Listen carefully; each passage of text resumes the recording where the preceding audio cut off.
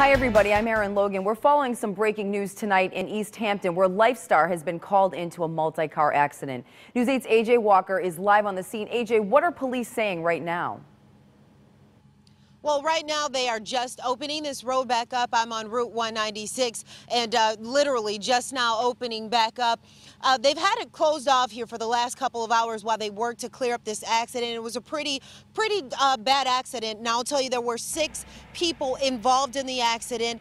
Uh, all six of them have been sent to the hospital. One of them had to be airlifted to a nearby hospital by Lifestar, but police aren't saying uh, which hospital he has been sent to. Now, there were also three vehicles uh, in total involved in the accident. Yeah, one of them being a mail truck. If you can see that, one of them is a mail truck. The other, a red Ford F-150 and a Chevy Avalanche.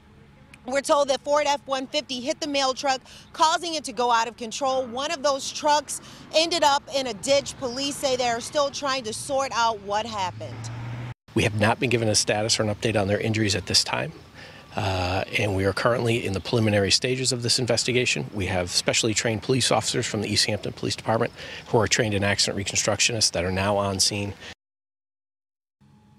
Again, the road is open, but there are still some uh, police cones down, making sure that drivers are moving slow while they continue to clear out this accident. For now, live in East Hampton, AJ Walker, News 8.